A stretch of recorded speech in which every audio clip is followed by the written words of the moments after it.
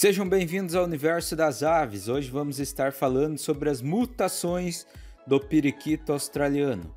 Hoje vamos falar especificamente do grupo Arlequim. Você que não viu o primeiro vídeo, é só clicar no card acima para assisti-lo. Mas antes do vídeo começar, já deixa aquele like e se não for inscrito no nosso canal, aproveite e inscreva-se. Então os Arlequim se dividem em quatro grupos. O resto são apenas variações entre eles. Então temos o grupo Arlequim dominante australiano, Arlequim recessivo, Arlequim dominante e Arlequim pontas claras. Então vamos começar pelo grupo ADA, Arlequim dominante australiano. A sua principal característica é a falta do pigmento melanino nas asas, barriga e cauda. No periquito verde as manchas serão amarelas e no periquito azul as manchas serão brancas. Então acima aqui temos alguns exemplares e podemos notar que essa mancha não segue um padrão. O Ada surgiu na Austrália em 1935. Os machos têm a narina na cor azul. Então aqui temos alguns exemplos de alguns hadas. O próximo é o arlequim recessivo. A sua principal característica é a falta de pigmento no peito e a presença de coloração na barriga, como podemos ver aí na imagem acima. Então aqui temos alguns exemplares. As marcações nas asas são aleatórias e não padronizadas. Então os machos aí na fase adulta têm a narina na cor rosa. Então aqui acima segue alguns exemplares. Aqui temos o arlequim dominante. A sua principal característica tem a sua cor em quase todo o corpo, e as falhas são em pequenas partes das asas e também pode aparecer em partes aleatórias do corpo, como nos exemplares acima. E aqui temos alguns exemplos dele. Próximo então é o arlequim de pontas claras, muito parecidos com os comuns, sendo eles azuis ou verdes.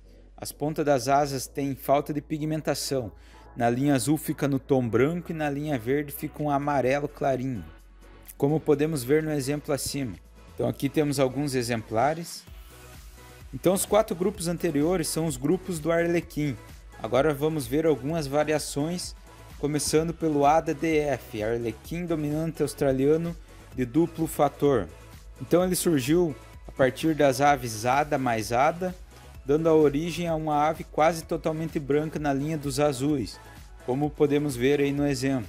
Já na linha dos verdes, ele é um ADA mais ADA, dando a origem a uma ave quase totalmente amarela, como conseguimos ver aí no exemplo. Então, aqui temos alguns exemplares do ADDF. Agora vamos falar do ADA decolar. Ele surgiu do ADA mais AR, muito parecido com o ADA, só que com uma marcação mais fina no peito e menos pigmento no corpo, como conseguimos ver aí no exemplo.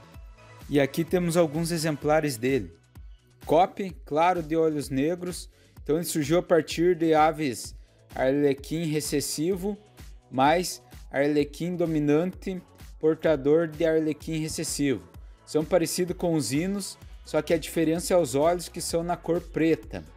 Então aqui temos alguns exemplares. Nesse exemplar conseguimos ver que a narina dele também na fase adulta não fica azul, e fica um rosado. Essa variação COPS também existe na linha dos verdes, ou seja, ele é um amarelo quase igual o lutino, só que a única diferença é que ele vai ter o olho preto. Bom galera, se restou alguma dúvida já deixa aí nos comentários. Se tiver alguma sugestão para vídeo, deixa aí nos comentários também.